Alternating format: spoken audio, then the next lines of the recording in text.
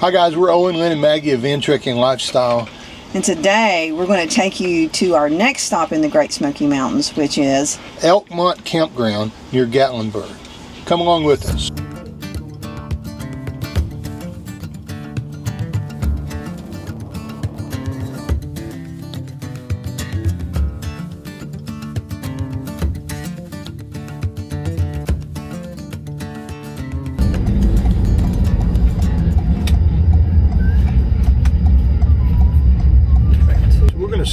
Sugarlands Visitor Center and find a place to park, hopefully, that has a clear view to the sky because we don't know what we're going to have when we get there, and we want to be able to download some shows to watch in case it rains. So we made it to Sugarlands Visitor Center, which you love to go into places like that. I this. do, and I like to check out, you know, what's what there is to do in the area. So We'll plan our day, plan weather today and tomorrow, and Yeah. see what's going to be available for us to do outside, and then we'll see what happens. Okay, it's a pretty good setup here, actually. Everything runs from this compartment here, and then here, let me show you. We have Starlink in here, works really well from there. Run the cable out and lower the bikes, pointed up that direction, and let Starlink connect. Let's go inside because it's starting to rain. Let's see if we're going to be able to get connectivity. And by the way, it wasn't supposed to rain today. Tells you something, huh? Well, we've checked the weather. Everything's working fine with the internet here. We have some shows that are downloading. We're going to take Maggie for a walk, but we had a springtime shower pop up that was not in the forecast. Well, it rained for about 45 minutes, and one good thing about that is kind of cooled things off a little. That's a good thing. We're to head over to the visitor center now and just pick up a little literature, just kind of walk around, let Maggie stretch her legs before we go check into our campsite. you guys look wet. Uh-oh, I'm so sorry. When you're traveling in an RV, there are a few things that are, well, what we'd like to call necessities. And there are some things that are nice to haves. We used to think that connectivity was a nice to have. In other words, being able to connect our phones up to the internet and to get messages and other things. But you just heard that young lady say they were stuck on the trail. And if you don't know that, there is a trail that goes from the Sugarlands Visitor Center all the way over to Gatlinburg. You could be halfway on that trail back here in a storm like we just had hit, and well, you're either going to get really, really wet or it could be more serious than that. So for us, being able to be connected with our cell phone, Verizon LTE when we can, but with Starlink when we can't, well, that's now a necessity. Later on in the video, we'll tell you some more of the things as we use them that are necessary for us and what we think are nice to haves. It just makes the trip a lot more fun. But for now, what's fun for Maggie is walking around and smelling and doing her business. We're not going to go too far because Lynn's in the visitor center. We don't want to go, you know, lose her. this is something new. I started charging for the little pamphlets.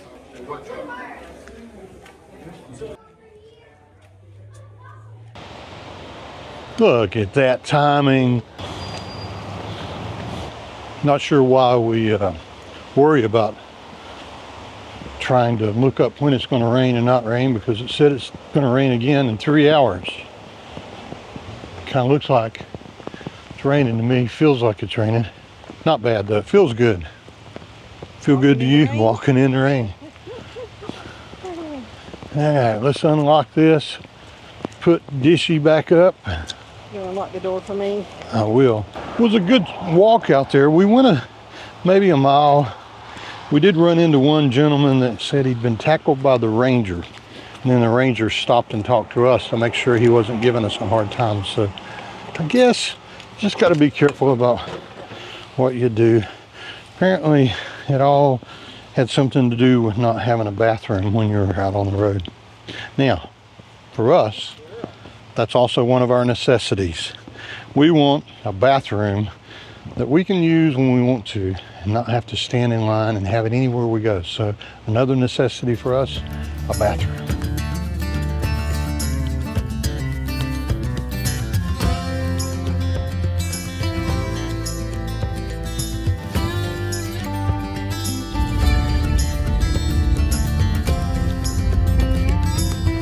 Okay, we got to our site and it's raining, so we're gonna hunker down a little bit and let this rainstorm pass and then we'll get out and set up camp and see what there is to do. It seems like a lot of this is happening on this trip. Yeah. Looking out, watching the rain. And... There's a couple of campsites behind us, but I don't think that campground or that loop is open yet. We're sitting here trying to figure out what's using 7 amps or 93 watts of power. And the thing you have to worry about when you're sitting out here, usually our 400 watts of solar on top will keep us, you know, everything pretty good and topped off, and then we can crank it up or run the generator at night and get it topped off more. But when it's raining like this and overcast, we have to watch it a little closer because most of the national parks that you visit, the campgrounds are dry camping, so it's going to be the case for this entire trip. That's the ice maker there. No, don't, don't, you don't have to. So it brings us to another thing that we have in the van that we haven't had very long, have we? The ice maker. Oh yeah. It's not a must-have. But man, I sure like it because we put the filter on the water, so Mm-hmm. I'm drinking, you know, from you know from the water tanks, and to these great big Stanley yeah, cups. So having ice really makes that. It makes a big difference. yeah, doesn't it? because used to we used to put you know the big water jugs in the refrigerator and it kept them cool, but Yeah, yeah. that's the way So to keep our what we water decide we're going to do since it's going to rain for the next two hours? Um, I think we're going to ride into Gatlinburg, maybe ride into Pigeon Forge. Yeah. we We'll have don't to know choose. yet, so we're just We'll going to choose which one we go to, but yeah, that's right. Yeah, maybe go find something to eat. Hey. Maybe go to Apple Barn because it's one of Hey. Owen's favorite places to go in the world.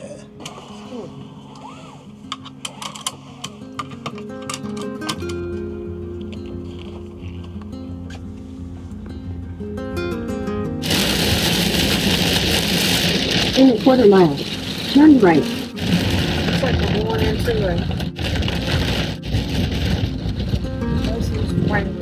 We're not a big one.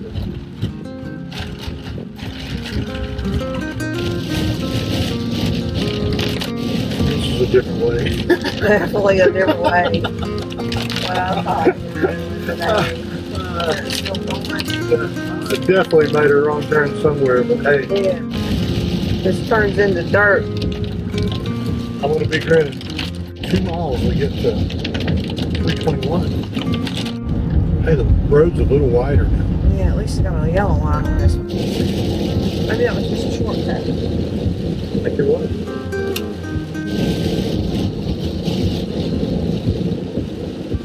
You're back online. You are on the fastest route. You will arrive at 4.07 p.m. Turn right, then turn right.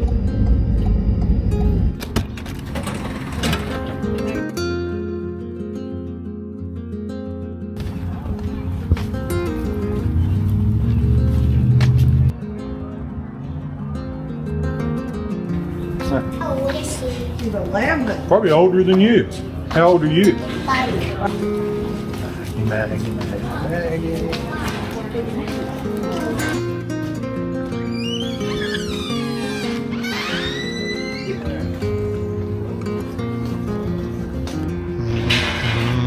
Mm, look at this. Mm, mm, mm.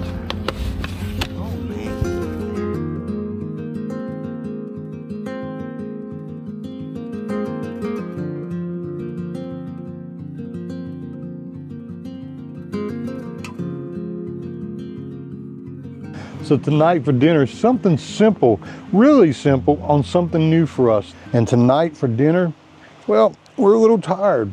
So we're gonna do something pretty simple. We're gonna do Panera bread, broccoli, and cheddar soup on the Blackstone. Let's get started. Now what we're hoping is we can actually turn the flame down a little lower so I can cook slower on this. Because Lynn told me that I've got to watch this broccoli and cheddar soup like someone's getting ready to steal money from me. So this is a pretty easy meal with just one ingredient. But in order to get that one ingredient, you need to have a membership at Costco.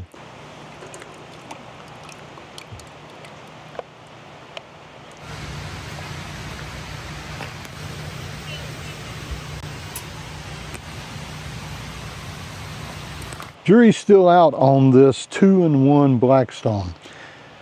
Very few times when we're out camping do we need something like this. But when we need it, it's really good to have. Now, the other thing about this is, I don't think this is hot. No, it's not. This is a non-stick surface, so you don't have to worry about seasoning it. And it's big enough to put maybe, what, four hamburgers on, a couple of steaks. If it works, it's going to be a really good addition. If it doesn't work, well, going back to Walmart. you can't lose, can you? And you want to know my thoughts about it? Yeah, My I do. are, you do. I do. I, I really do want to know her thoughts.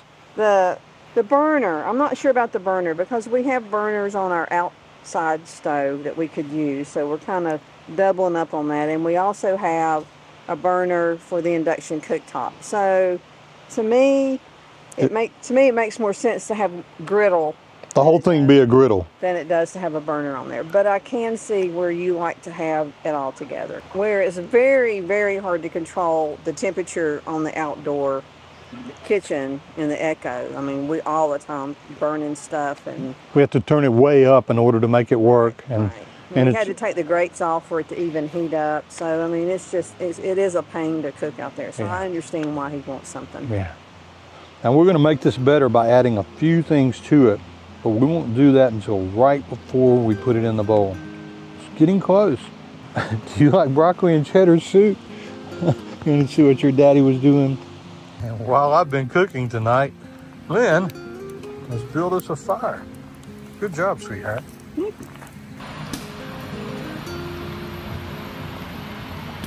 Okay, let's uh, put these in the bowls here. Man, that looks good.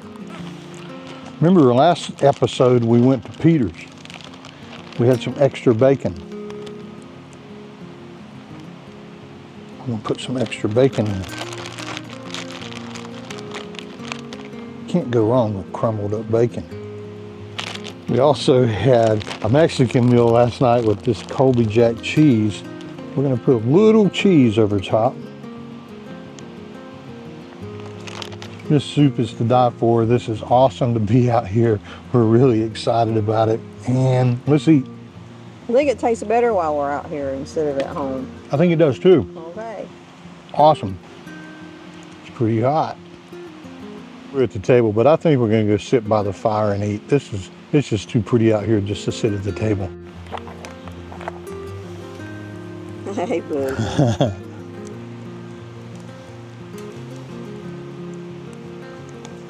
Bacon makes it even better. I know bacon makes everything better, doesn't it, bud? kind of funny. We I don't think we've ever eaten this at Panera Bread, have we? Once in Boone, I believe, when we were up there. It was cold. I can't remember. We can't remember where we've eaten. We have a hard time remembering the places we go, but luckily we make these videos and we can always look back on them and see the places we've been. So, Hmm. all right, guys. Catch you in the morning. What do you think? What do you think, Maggie? Maggie got her a little soup too, just in the lid. She might be spoiled. You think? Our daughter got me this for Christmas, and we haven't been able to use it yet because, believe it or not, since then we haven't been anywhere that's had bugs. Till tonight. But I just got That's why it's so. They need DNA to a mosquito with this. Maybe. Maybe. I know he could be. Good morning. We're out here this morning looking for a bull elk. We're just heard him bugling over here and we came out to the water's edge to see if we can find him and yeah, not here. Must have run off to try to get away from the rain. You can tell there's a huge storm going over right now, so it's getting ready to rain again, but look where we woke up.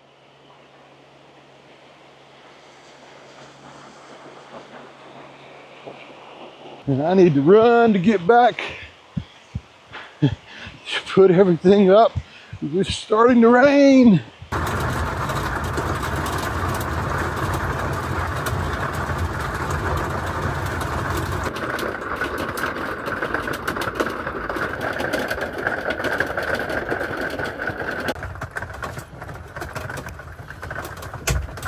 As has been raining this morning, but we were just saying that it could be worse. We could be in a tent, and that would be bad. Or we could be in an RV with children who can't go outside. That would be bad. Man my say she's with a child right now, and I'm all cooped up and I'm ready to go outside. I'm acting like a kid maybe, but I don't know. It's supposed to quit raining in about an hour, and we have big plans for today. Going out in the rain? Yeah. I don't want to stink up the bathroom. I stuck in here. Oh, that's, we appreciate that. I know. Woo! No. It's just over there, but I got to go way around. Okay, you don't have to. It's interesting content there, isn't it? We're not that far from the uh, bathroom. Let me see. It's right over there. But I don't want to walk through all the wet grass, so I've got to go around the road. But uh, that's cool. Oh, you can't get back. Mama, I need to get by to get up there with my daddy.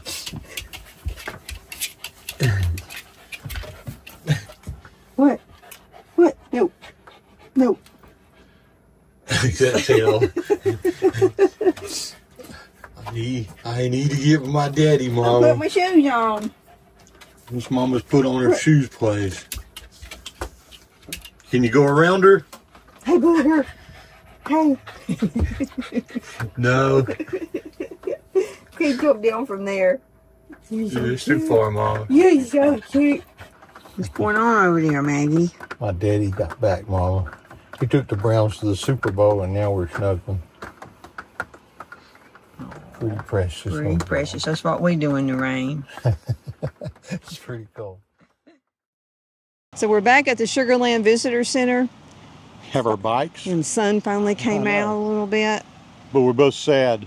It's really, really muddy. It's a gravel trail, and there's not a lot for Maggie to do over there. So maybe in the distance you can hear the generator going and her air conditioning, and she's locked away in the van here. She'll be safe. It's just hard to leave her. It is it. hard to leave her, but really, really not knowing the trail, you know, it's kind of, I think that's our best choice. And if you've ever been to the strip in uh, uh, Gatlinburg, there's not a lot for her to do there. There are a lot of people walking. It's crowded, so it's better for her to stay here. So let's get on the trail. We should have about two miles on the trail. A couple of things to stop and look at maybe along the way, and then we'll be on the uh, main drag of Gatlinburg.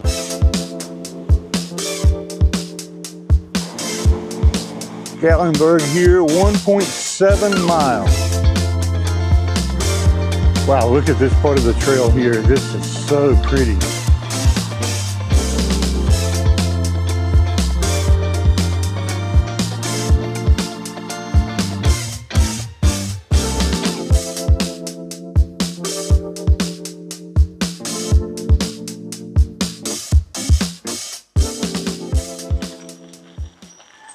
Being able to uh, to do this, yeah, this is perfect.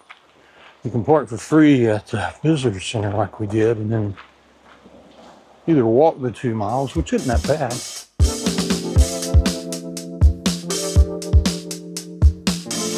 Okay, we made it to the end of the trail. Now to try to figure out where we are and where to go. One thing we learned coming here is there's very little uh, parking for bikes here, so we're having a hard time finding a, a place. We actually did a uh, flagpole and locked it to that. Maybe so. We'll see. We're okay. What's cool is the very first thing we came to is really what we came here to go to anyway, the Nantahala Outdoor Center. Really cool outdoor store that's here. It's got a little bit of everything and uh, kind of excited about going in here. And we can't buy too much because we can't get it back on the bikes.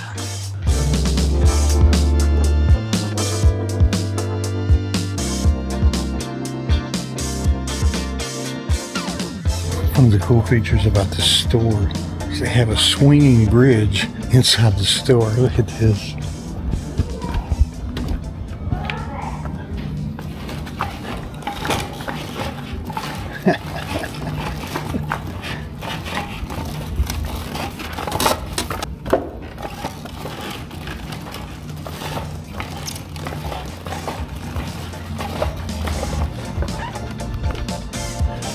over and back, didn't fall.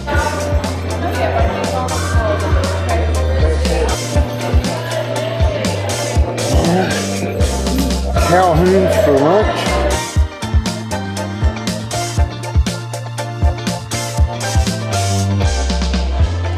So what do you think about riding bikes down here? That's pretty, I thought it was really cool. Our Yeah. trail was really nice. It would actually be a good walking it trail. would, it It would. was only a couple of hills that was, you know, but And crossing the water was fun and being down here now, I'm not having to worry about parking. That's really, really cool. yes, You worried about Maggie?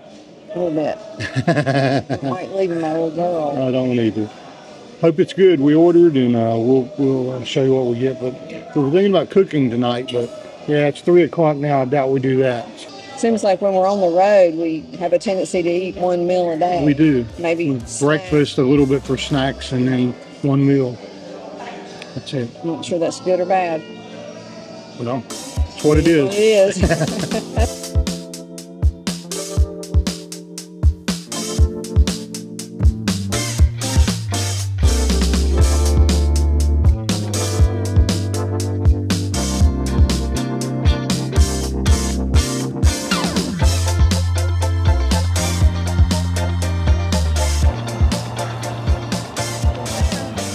Bikes are still there.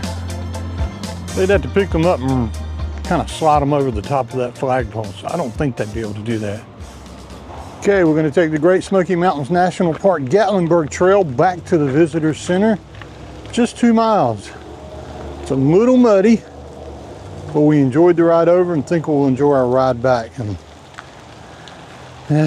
we always have mixed feelings about going into Gatlinburg. It's a cool place to go, but I don't know, it's so touristy that it's not really our cup of tea with the exception of one place to get donuts and a place we used to get Reuben's that has now gone out of business. So, but it's so nostalgic that a lot of times we'll go even though probably we don't even want to. But we're happy now to be in the shade and heading back over to see little Magdalene. Be careful of the mud.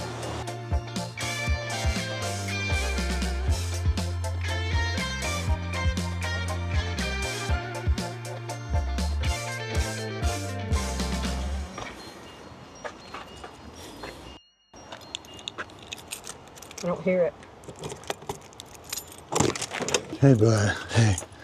Hey, Is it hot in there? It's not cool, is it? I'm so sorry, bud. What happened? Wow. All right, so we left the generator running with the air conditioner on and it stopped, which is not a good thing. That's the second time. Uh, you probably watched one of our episodes where we had issues with the generator. We thought Maggie would be completely safe. I left fans on in there just in case this happened, and I'm glad I did.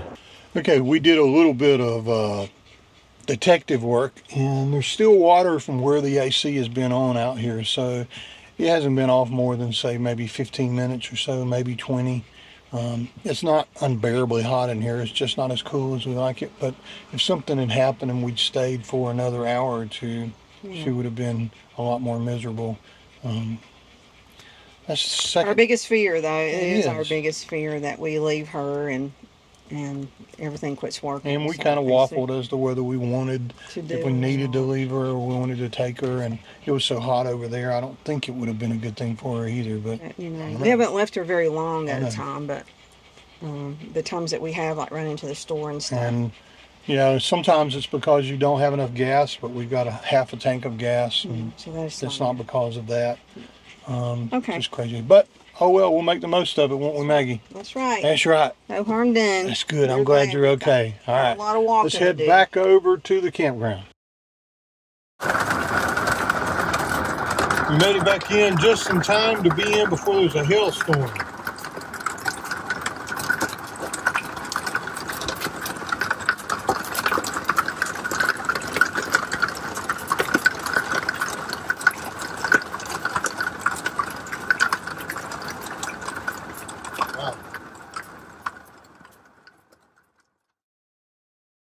So Elkmont Campground, what do you think about it? Um, I think it's your typical national park campground. It is dry camping, rustic. It's got lots of water. It's beautiful. It is right now. It's a little overgrown. They haven't cut the grass and I don't know. Yeah, nothing's been mowed or weed eated or anything. It's kind of, and there may be a reason for that because there are a gazillion butterflies here, and they Yeah. may be leaving it for wildlife. So we don't know that for sure. But it's not going to impress you when you get there and it being really, really clean. At least right now when we're here. And some of the restrooms are still closed. Um, Some of the loops are closed. some of the loops are closed, but it makes for good walking It does, doesn't it? and bike riding Yeah. around. Maggie so- saw her first turkey up close yesterday. We didn't get it on in the film. campground. Yeah. Yeah, so that was really cool. Yeah. Um, it's definitely a place we will come back to. It's a place that we love simply because you're in the middle of Gatlinburg and Pigeon Forge, and there's just so much to do in both of those. You saw yesterday we went into Gatlinburg on bikes, and that was a lot of fun. And we drove over to Pigeon Forge, and you know, if you're into that kind of thing, there's a, there are a lot of restaurants, a lot of fun things to do, and if you want to go spend a bunch of money, it's a good place to do that. Yeah. But But you kind of got the best of both worlds Yeah. because you do have something that's close by that you can, you know, go and entertain yourself, or you can just stay here and enjoy nature. And that's kind of like what we like to do. we would recommend that you come. Just keep your expectations. Also, plan before you get here because you're going to find that just like all the campgrounds in this national park, there's no cell phone connectivity at all, zero. Yeah. So just just plan for that. But you can go to the visitor center, and this what uh, about ten minutes away Yeah. driving. And Not that many miles, but um, there is cell phone signal there. yeah, little cell phone in there is Wi-Fi in the visitor center. So so we'll call that a wrap for Elkmont. It was a great stay for us, one that we'll remember because well, we had hail, we had rain, Had we rain every wind. day, like a couple of times a day. So But we made the best of We it. did. We hope you do too, and we hope you've uh, you're safe during these springtime storms. And see you next time.